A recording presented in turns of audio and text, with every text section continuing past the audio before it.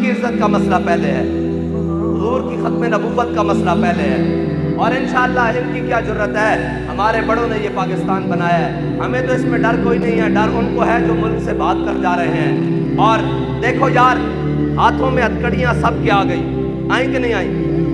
हैं जी? किसी की हथकड़ियाँ आई पानामा केस के नाम पर। किसी की वो जेलें आ गई जनाब घड़ी चोरी पर। हमें आई हैं मुस्तफ़ा के नाम पर। सल्लल्लाहु अलैहि और और ये बात है उनसे पूछो तो वो बाहर निकल कर प्रेस कॉन्फ्रेंस कर रहे हैं कि जी हमारी तोबा आइंदा के बाद हमने ये जमात भी छोड़ी और जनाब ये भी छोड़ा और वो भी छोड़ा हम भी जेलों से आए हैं लेकिन वहाँ क्या कराए हैं मर ही जाऊँ जो इस दर से जाऊँ दो कदम क्या बचे बीमार हम गुरबे मसीहा छोड़कर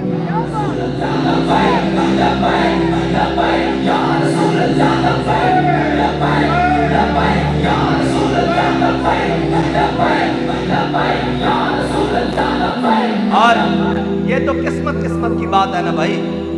हाँ इमाम सज्जाद को भी बेड़ियाँ पहनाई गई, है जी? हाँ इमाम मूसा काजिम ने भी पहनी है, इमाम आज़म अबू हनीफा ने भी पहनी है, इमाम अहमद बिन हम्बल ने भी पहनी है। हाँ जी, ये तो सिलसिला चलता आ रहा है। हज़रत मुजद्दिद को भी जेल में लेकर जाया गया है। गाजी इल्मुद्दीन भी गया है। हमें इससे परेशानी नहीं है। हम तो ये कहते हैं, ये तो किस्मत की बात है। हाँ जी, ये तो किस्मत किस्मत की बात है ना कि अल्लाह ने हमें अपने हबीब की इज़्ज़त के लिए चुन लिया है।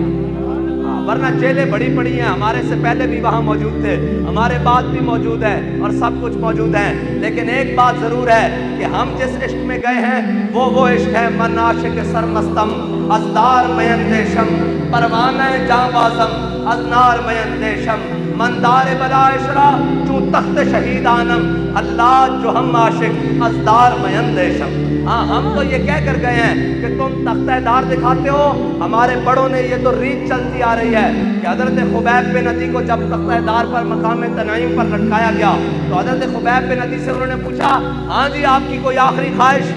ये है नामू से रिसालत। ये है नाम उस रिसालत। किस तरह से, किस लिहाज से हजूर की इज़्ज़त का परवाह किया एक एक अपनी जान देते हुए भी। हज़रत खुबैब तनी को जब मकाम तनीम पर लटकाने लगे, यहाँ उलमा कौन है जी?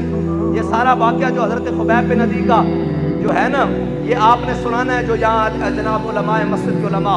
इनको बताएँ कि उनकी गिरफ्तारी कैसे हुई। जनाब, बदर के बाद। और फिर उनको कैसे लेकर जाए? मैं सारी शार्ट करके आगे सुना रहा हूँ। हज़रत खुबैब पे नदी के सामने जब उन्होंने पकड़ लिया काफरों ने, और बदर के बाद ये तीन साहबा आ गए हाथ। हज़रत खुबैब पे नदी बच गए उनके हाथों में। उन्होंने कहा, जी, पूरे आल मक्का को जमा किया, आओ, आज बदला लेने के लिए। बदर वालों का बदला लेंगे, एक हजूर के गुलाम से। वो जनाब तीर भी ले आए बर्शे भी ले आए कैंशियाँ भी ले आए, भाले भी ले आए। सारा कुछ जब ले आए ना, सारा कुछ ले आए। तो हज़रत खुबैब बिन नदी के सामने उन्होंने तख्तादार सजा दिया। तो उन्होंने कहा, खुबैब, बताओ कोई तुम्हारी आखिरी ख्वाहिश? फरमाया हाँ मेरी आखिरी ख्वाहिश है। उन्होंने कहा, क्या आपने फरमाया दो रकात नमाज़ नफल पढ़ने दो? जब आपने दो रकात नमाज़ नफल पढ़े ना तो जल्दी जल्दी में पढ़े। जल्दी जल्दी नफल पढ़ के तख्तादार की जानब चल पड़े। हाँ हाँ हाँ क्या बात है। कोई जिस धज से कोई मकतल को गया, वो शान सलामत रहती है। ये है असल में सिर्फ़ लिखने और पढ़ने की बात नहीं ये है असल। अब ये उस, इसका माना ये है। हज़रत खुबैब बिन नदी जब जल्दी जल्दी नफल पढ़ के चले ना तख्तादार की जानब तो कहा कि मेरा दिल तो था कि मेरी ज़िंदगी की आखिरी दो नफल हैं। मैं जनाब बड़े रब से अपनी तवील बातें करूँ अपने बड़ी लंबी बातें करूँ लेकिन कहा इस सोच से मैंने जल्दी पढ़े हैं कि कहीं हुजूर के दुश्मन खड़े हैं। उनके दिल में ये ख्याल ना आ जाए दिमाग में कि हुजूर का गुलाम मौत से डर कर नमाजें लंबी कर रहा है। हाँ हम जिस लाइन में से हैं, हमारी लाइन ये है। कहा, मैं इस डर से लंबे नफल नहीं पड़े कि तुम्हारे दिलों में ख्याल ना आ जाए कि कहीं मौजूद का गुलाम मौत से डर गया है। फिर आपका वो तराना है, जनाब, शहादत है, मकाम तनीम पर बड़ा लंबा। उसमें आखिरी वक्त में जब आपका जिसम उन्होंने कैंचियों से काटना शुरू किया, किसी ने नेजे मारने, किसी ने भाले मारने शुरू किए, आपका जिसम जब कट गया ना तो उस वक्त किसी ने कहा, खुबैब, तू कहता तो होगा कि मेरी जगह आज तेरे नबी होते तो हज़रत खुबैब कटे हुए जिसम से तड़प उठे।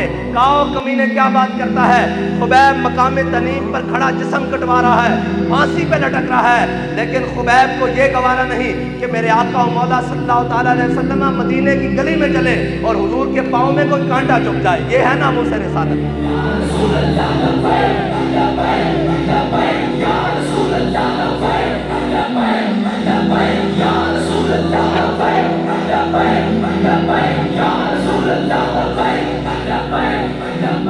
है नामूस रिसालत। और नामूस रिसालत का मसला ये नहीं कि ये कोई चंद रेवड़ियाँ हैं। और जनाब, ये नाना उम्मत का, ईमान की असास का मसला है। और दुनिया में एक ही लड़ाई बाकी रह गई है। मुल्कों पर उन्होंने कब्जा कर लिया, खिलाफत उन्होंने तोड़ ली। सब कुछ जदीद और कदीम, हर चीज़ पे उन्हें, उन्होंने कब्जा कर लिया।